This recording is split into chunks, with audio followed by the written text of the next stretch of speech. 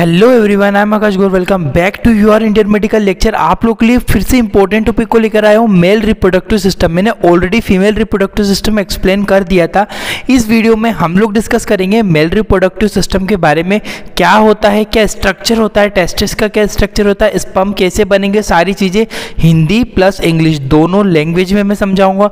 दोनों लैंग्वेज में यहाँ पे नोट्स दिए जा रहे हैं। अगर आपको नोट्स चाहिए, आप मुझे डिस्क्रिप्शन में सबसे नीचे स्क्रॉल डाउन करके इंस्टाग्राम आईडी दी हुई है, वहाँ से मुझे कांटेक्ट कर सकते हो।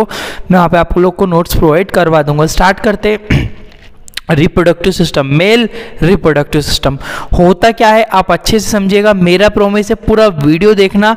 एंड में जाके आपको कोई भी डाउट नहीं रहेगा। वीडियो को लाइक और चैनल को सब्सक्राइब ज़रूर कीजिएगा। मेल रिप्रोडक्टिव सिस्टम जिसे नर जनन तंत्र कहते हैं। होता क्या है? Male reproductive system in which form a male sex gamete simple बात है कि मेल रिप्रोडक्टिव सिस्टम होता क्या है? ऐसा सिस्टम ऐसा प्रोसेस जिसमें मेल सेक्स गेमेट्स बनते हो। अब ये मेल सेक्स गेमेट्स क्या होते हैं? मेल सेक्स गेमेट्स का मतलब होता है स्पम सेल जिसे हिंदी में हम शुक्राणु कहते हैं, ठीक है?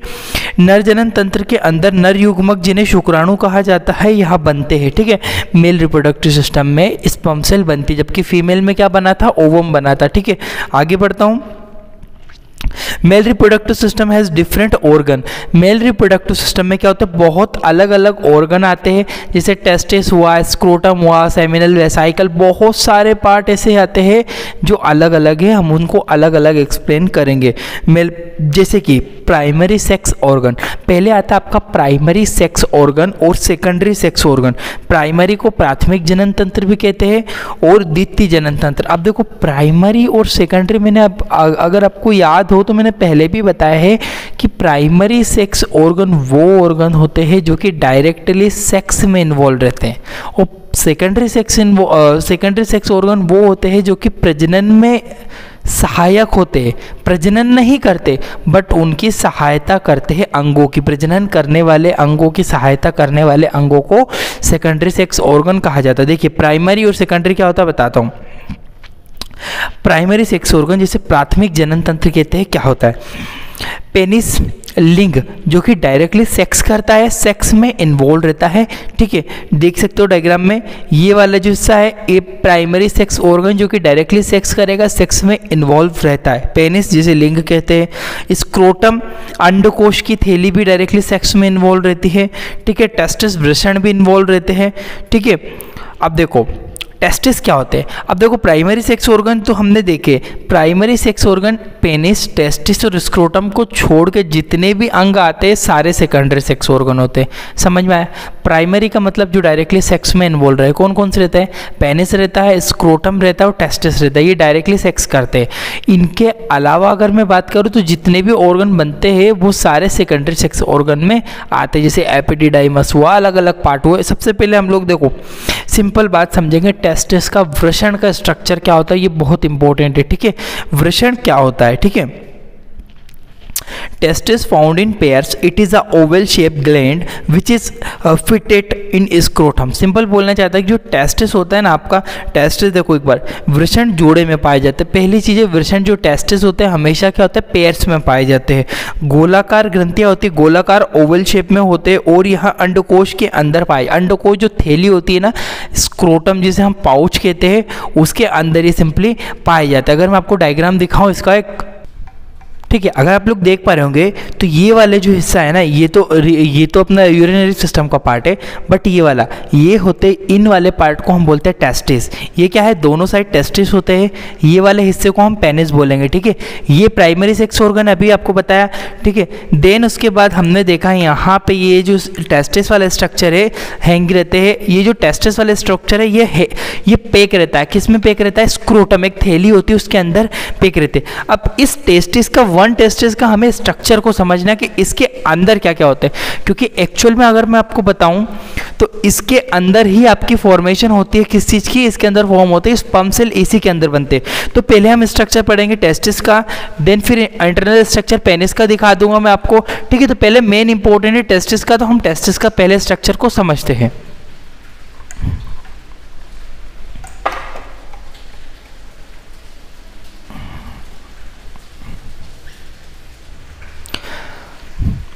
ठीक है आगे बढ़ता हूँ मैं यहाँ से आपको। अब देखिए नॉर्मल वेट ऑफ़ टेस्टिस जो नॉर्मल एक वज़न बता रहा है टेस्टिस का कितना वज़न होता है? पंद्रह ग्राम के समथिंग इसका नॉर्मली वेट होता है। ठीक है, देख लो डायग्राम में भी आप लोग देख सकते हो, एक बार यहाँ पे भी देख लो। ये सारी चीज़ें हम लोग डिस्कस करेंगे, शुक्राशय मूत्रली बट अभी अभी हमको टेस्टिस को डिस्कस करना है, जिसे हिंदी में वृषण वृषण कोष जिसे थैली बोलते हैं हम, ठीक है, शुक्रवाई का। ठीक है, कितना वज़न होता है? नॉर्मल याद रखना, पंद्रह ग्राम के समथिंग इनका वज़न होता है। नॉर्मल लेंथ जो लंबाई होती है, चार से पाँच सेंटीमीटर तक वृषण की लंबाई चार से पाँच सेंटीमीटर तक होती है। आगे बढ़ता हूँ। अब देखो, वृषण के अंदर और इंटरनल स्ट्रक्चर हम लोग डिस्कस करने वाले वृषण की संरचना। Outer side of testis present special type of layer which is called tunica vaginalis देखो ट्यूनिका वेजेनेलिस क्या होती है? सबसे ऊपर वाली, सबसे आउटर वाली लेयर होती है, ठीक है? वृषण के सबसे ऊपरी परत पाई जिसे जिसे ट्यूनिका वेजेनेलिस बोलते हैं। देखो डायग्राम देख लो एक बार यहाँ पे। जो सबसे ऊपरी जो स्ट्रक्चर आपको दिखा रहा है, ये वाली जो लेयर दिख रही है सबसे ऊपर वाली, इसको ट्यूनिका वेजेनेलिस बोलते हैं, ठीक है? नेक्स्ट आती है inside of tunica vaginalis present a special type of layer which is called tunica albuginea बोलना चाहता है कि जो ट्यूनिका वेजेनलिस जो बाहर वाली स्ट्रक्चर थी, उसके अंदर वाले स्ट्रक्चर को मैं क्या बोलूँगा? ट्यूनिका एल्ब्यूजिनिया आप डायग्राम में यहाँ पे देख सकते हो, ये वाला है, देखो सबसे बाहर वाले स्ट्रक्चर को तो आपने क्या बोला था? इस वाले जो स्ट्रक्चर को आपने बोला था ट्यूनिका वेजेनलिस इसके बीच वाला मतलब कि ये वाला जो स्ट्रक्चर दिख रहा है आपको, इस वाली लेयर को मैं करूँगा ट्यूनिका एल्बोजीनिया ठीक है? अब नेक्स्ट चीज़ आती है इसमें this tunica albuginea start folding and convert into seminiferous tubule देखो, ये बहुत इंपॉर्टेंट है। एल्बुजीनिया क्या होती है? अंदर से मुड़ने लगती है और ये मुड़ते मुड़ते सेमिनिफेरस ट्यूब्यूल में बदल जाती है। अगर आप डायग्राम में यहाँ देख सकते हो तो ये आपको डायग्राम दिख रहा है। बाहर वाली लेयर को क्या बोला था tunica vaginalis inside of layer को क्या बोला था ट्यूनिका एल्बुजीनिया अब ये ट्यूनिका एल्बुजीनिया क्या हुआ? अंदर से मुड़ने लग गई। ऐसे फोल्डेड होने लग गई। इस फोल्डेड स्ट्रक्चर को मैं बोलूँगा ट्यूनिका एल्बुजिनिया जब मुड़ जाएगी तो इसे बोलूँगा सेमनीफेरस ट्यूब्यूल। बहुत सारे टेस्टिस के अंदर ट्यूब्यूल होते हैं और ट्यूब्यूल के अंदर ही आपके बनते हैं स्पम सेल, ठीक है? तो ये स्ट्रक्चर समझ में आया कि भैया सबसे टेस्टिस के सबसे बाहरी परत को ट्यूनिका वेजेनेलिस कहा जाता है। ट्यूनिका वेजेनेलिस के अंदर की साइड जो लेयर होती है उसे ट्यूनिका एल्बुजीनिया कहते हैं। अब ये ट्यूनिका एल्बुजीनिया कुछ समय के बाद ऐसे फोल्डेड होना चालू हो जाती है, मुड़ना चालू हो जाती है। इस मुड़े हुए स्ट्रक्चर को मैं सिंपली कहूँगा सेमनीफेरस ट्यूब्यूल ठीक है, इतनी चीज़ समझ में आई? अब मैं आगे बढ़ता हूँ। सेमनीफेरस ट्यूब्यूल के अंदर जाते हैं हम लोग। Inside of seminiferous tubule tubule के अंदर सेमनीफेरस लोब्यूल प्रेजेंट होते हैं, जिन्हें क्या बोलते देखो, सेमनीफेरस ट्यूब्यूल के अंदर सेमनीफेरस लोब्यूल पाए जाते हैं, इनके अंदर शुक्र शुक्राणु बनते हैं। देखो, डायग्राम में अगर आप देख सकते हो यहाँ पे, सबसे पहली बाहरी layer tunica vaginalis tunica vaginalis के अंदर ट्यूनिका एल्बुजीनिया ट्यूनिका एल्बुजीनिया अंदर से मुड़ने लगती है टिब्यूल ये बड़े बड़े आपको ऐसे कंपार्टमेंट दिखाई दे रहे इनको बोलते हैं अपन सेमनीफेरस ट्यूब्यूल सेमनीफेरस ट्यूब्यूल के अंदर सेमनीफेरस ट्यूब्यूल के अंदर अगर आपको दिखाई दे रहे तो पतली पतली सी नलियाँ मुड़ी हुई दिखाई दे रही है यहाँ पे आपको। ऐसी घुमावदार स्ट्रक्चर दिख रहा होगा आपको। तो इस स्ट्रक्चर को मैं सिंपली क्या कहूँगा? इस स्ट्रक्चर को कहा जाता है सेमनीफेरस लोब्यूल ठीक है? लोब्यूल के अंदर जो है ना, आपके बनते हैं स्पम सेल्स ठीक है? आगे बढ़ता हूँ मैं। Many semniferous lobule make a group of duct which is called vas efferentia. बोलना चाहता है कि जब बहुत सारी सेमनीफेरस लोब्यूल मिल जाती है, तब यह नली, नलिया बना लेती है, जिसे वास इफ्रेंशिया कहा जाता है। वास इफ्रेंशिया क्या बोलते देखो, अगर आपको डायग्राम दिख रहा हो, फिर से रिपीट करता हूँ। सबसे बाहरी लेयर को ट्यूनिका वेजेनेलिस अंदर वाली को एल्बुजीनिया एल्बुजीनिया आपस में मुड़ जाती है तो टिब्यूल बना लेती है टिब्यूल अंदर से लोब्यूल बना लेते अब ये देखो, सारे आपस में एक जगह पर, जिस जगह पर कनेक्ट हो रहे हैं, इसे बोलते हैं वास इफ्रेंशिया या वासा इफ्रेंशिया, ठीक है? ये वास इफ्रेंशिया होती है, ये बहुत सारे डक्ट का कनेक्शन होती है यहाँ पे, ठीक है? याद रखिएगा, वास इफ्रेंशिया बहुत सारे ट्यूब्यूल जब लोब्यूल जब आपस में कनेक्टेड हो जाते हैं, वास इफ्रेंशिया बन जाती है।